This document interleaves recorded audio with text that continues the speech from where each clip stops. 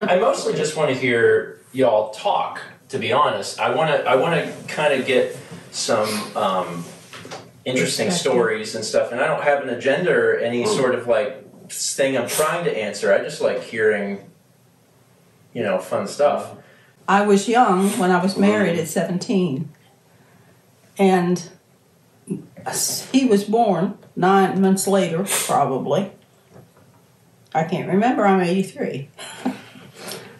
anyway, we were in church almost every night somewhere. Mhm. And um, I, I would sit on the front row with him. And I was paying attention to the front. And here you come crawled back under the pews, clear to the back, and ran down the aisle. Well, he got for that. And uh, if he talked, you know, when he shouldn't, he got for that.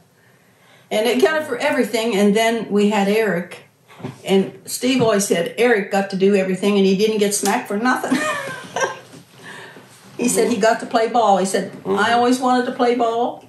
Did I get to? No. Well, we lived too far away from school. He couldn't get there to practice, and we couldn't take him to practice. It was too far. And then here come Eric. I was more grown up. I wasn't 17 anymore. Mm-hmm. So I was Because Eric, Eric was eight years later. yeah. Yeah. So I let Eric do everything that he wanted to do Mhm. and didn't get to. And so we attribute that to why Eric was so bad and Steve was so good. What was your childhood like? Like when, when you were growing up, um, was your how was your relationship with your parents? My dad died when I was three, Okay. and I found the body. And um, I have two brothers, had two brothers and two sisters, and they were already gone from the household when Mhm. I was born. So Okay. So you you grew up. I grew up much- alone, like I, much- yeah, and it was just you and your mom. just me and my mom.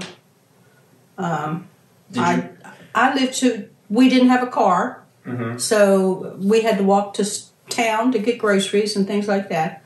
Um, and then when I went to school, I had to walk to the school, the old school, and um, there I caught a bus from there to high school, and it was like that the whole time I was in school.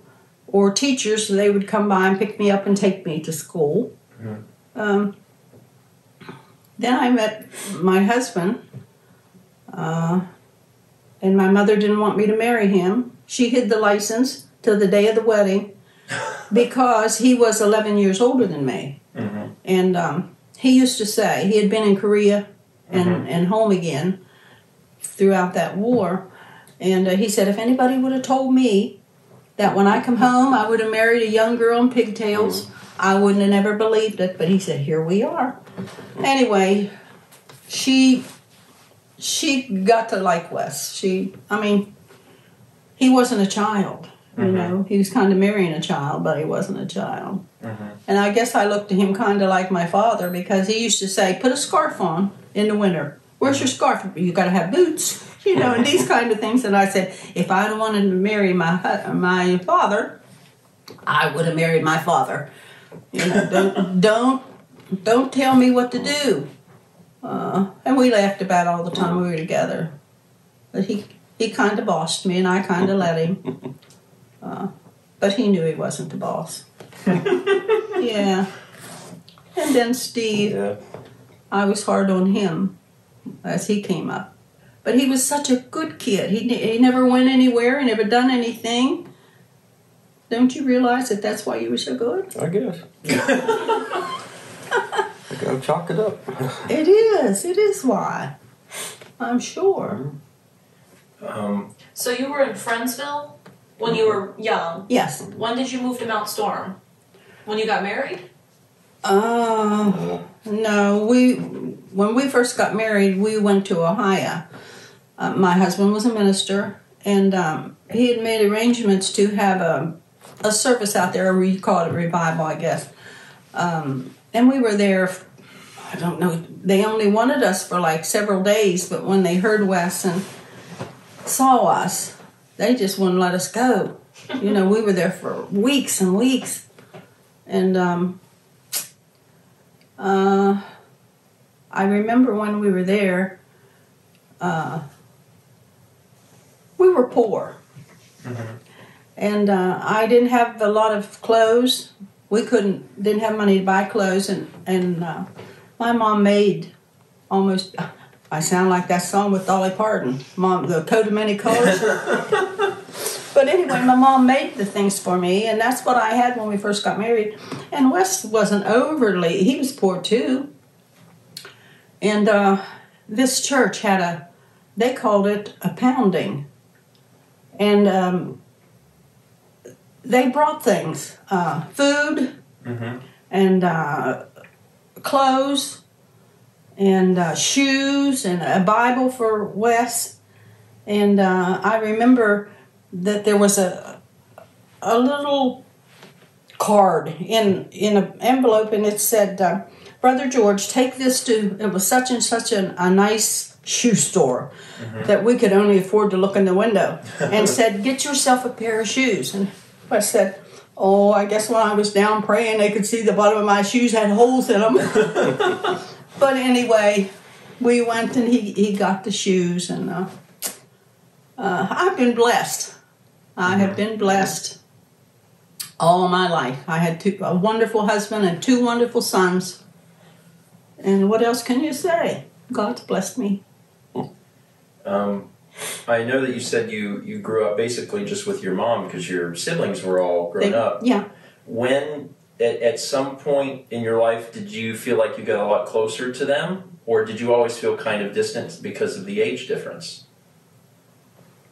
No, I think I always felt close to them. My two brothers, when Okay. they left high school, they went into the service. Mm-hmm. Um, and uh, my my older sister got married right away when she got out of high school and moved away, and uh, the sister close to me got a job with the government in Washington. Mhm. And um, but I always felt close to them, and they they kind of took care of me.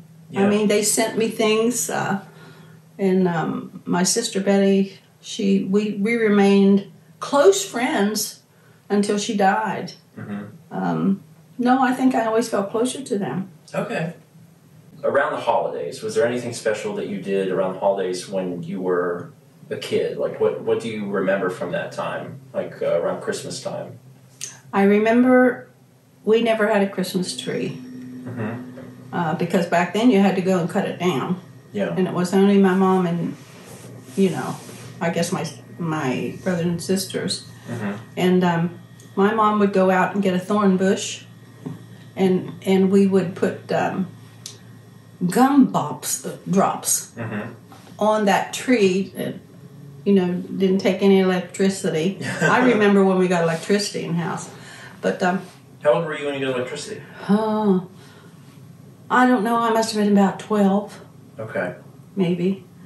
But uh, that was a big thing for me was to put the gumdrops on a tree, Mhm. and we would make cookies and candy, everything like that. We had to pick, get the uh, the nuts. You know, we gathered the hickory nuts and we gathered the the walnuts, and the walnuts. Oh, if you've never done it, it's really messy.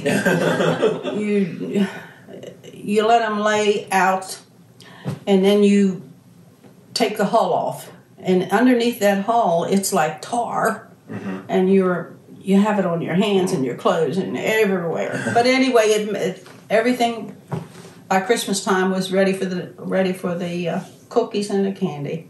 That was a big thing. And then when my sisters and all left home and got married, when they could come back for Christmas, they would all bring presents. I mean, I got so many things that I guess I missed, you know, when I was little. And that's also what you meant by your siblings kind of taking care of Yes. you too. you know? Yes. Yeah. I I know when we had the prom and I was in high school, I was invited to the prom and I thought we didn't have money to buy me a dress. Mhm. And um, my sister, the, the one, the second one that had moved away, she bought me a dress, beautiful, and it, it was white, uh, and it had it went up like this, and everywhere there was a catch, there was a red rose. It was beautiful, and I looked so good. Sound, I, I sound like that other, you know, whatever that fancy was her name. Oh, Yeah, I might have been plain, born just plain white trash, but Fancy was my name. anyway, yeah, they took care of me. Was was there any um, anything you remember getting for any like Christmas or your birthday? Any like particular gift that stands out that you remember that was really special to you?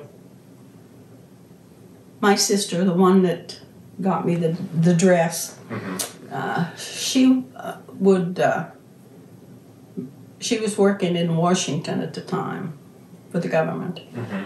and uh, she would bring me uh, one doll. I remember looking in the window at for a long time, and I I don't remember how much it was, but no way we could afford that doll.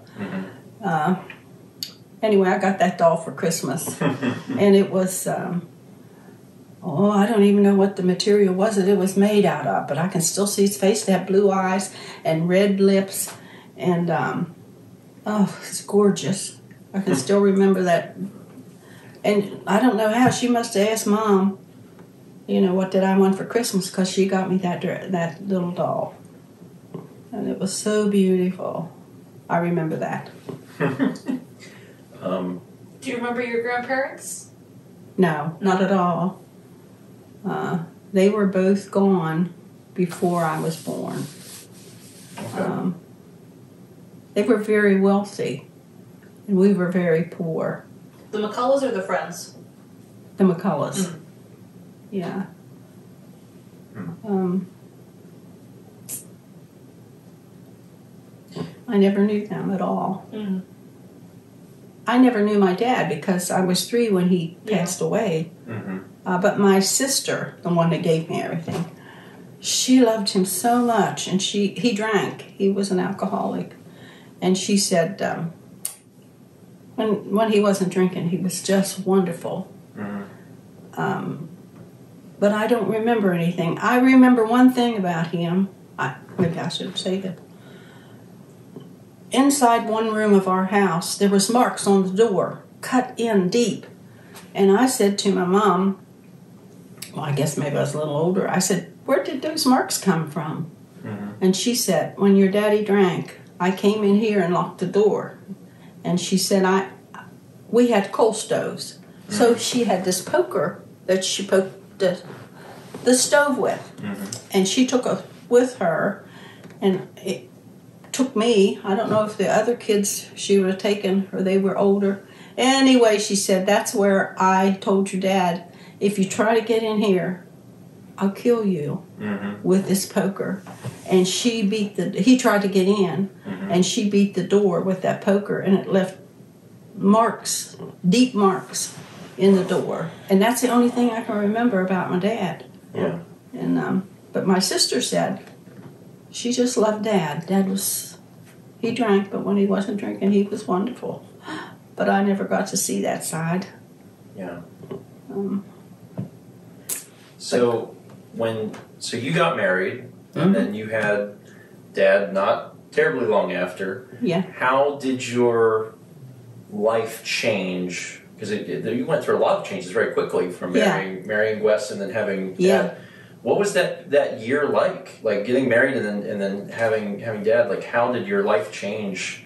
Um, well, in, in that period.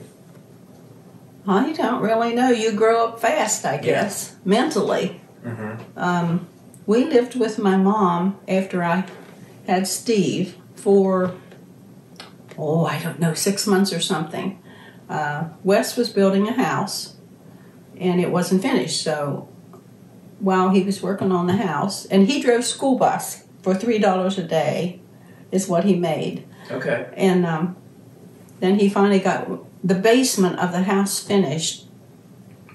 And uh, I took Steve and we moved into the basement of the house. Anyway, then we eventually, I don't know if it was the same year or not, built the top on the house. And, um, well, I was my own boss, or I thought I was my own boss, you know. Mhm. Wes started saying, put your shoes on, put your boots on. Um, I canned everything we ate because his mother canned, and so did my mom. And uh, it's just a way of life. And uh, Had your own garden. we had our own garden, yes. Uh, and we raised a cow one year and then had it butchered. So we had, you know, steak and chop, or not chops, that's not, When when yeah, we didn't have a pig. when Dad recalls his childhood to me, um, he talks about growing up on the farm, Yeah, and I've always wondered kind of what that experience was like, right? Because that can mean so many different things to so many different Yeah. people depending on the, the size. So to hear you talk about having a cow and that sort of thing yeah. puts it a little more into perspective. Um, We had chickens one time, you remember? Mm-hmm. Miss Sister Wood gave them to us. Yeah. My husband said that he dreamed that this woman came into his house with a suitcase and she set it down. And that was me. He said, The first time I saw you, I knew you were the woman with the suitcase. so he said that, you know, that was, a, that was what clinched it for him. Yeah, actually, um, how did you and Wes meet? Like, what was the. In church, okay. we met in church.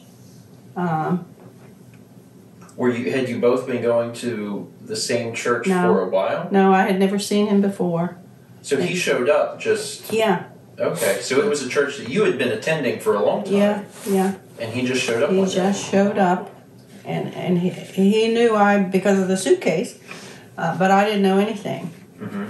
And uh, I and he was older. Was it shortly after like he got to the church for the first time? Did he start talking to you pretty immediately? Yeah. Okay. Yes, he did. We I, I'm trying to think when that was that we first met, but I can't remember. But not very long, Mhm. a few months maybe. And uh, at Christmas, then he gave me an engagement ring, and we were married in June. So it was very Yeah. So it was bad. So you got engaged when you were seventeen. yes. Okay. Yes, the Christmas Eve. and or 17. none of my family liked it, but they were just looking at the age difference. They said he is too old for you. You don't know your own mind. You're a child, and um, but I did, and we lived together forever. yeah. Yeah, Yeah. How many how many years were you together? oh, I should know that. Uh, we were married in uh, I don't know if it's fifty-seven or fifty-eight, Well, and um, I'm 64, so okay. Well, your dad died in Two thousand nine. Eight. Eight. Two thousand eight. Well, we were together all that time. From 58 to 78. For, for, for 50 from 58 to 2008 Yeah. 50 years Yeah. Is that That's how long that was 50 I years think it 50 was. years. 50 years You have to figure it out when you don't have any mind. Um, yeah. a little late for it, but hello everyone and welcome to Wednesday. Um, I sincerely hope you enjoyed that. I thoroughly enjoyed that. It, it, it meant a lot to me um, to just do some chatting with my grandma and to get some, you know, stories from my grandma and then also my dad too. Um, one of my long-term goals, which might be more might might become more of a short-term goal too, um, is to to do that sort of thing to to get some fun stories from my parents. And I I absolutely wanted to take advantage of the fact that my grandmother was in town.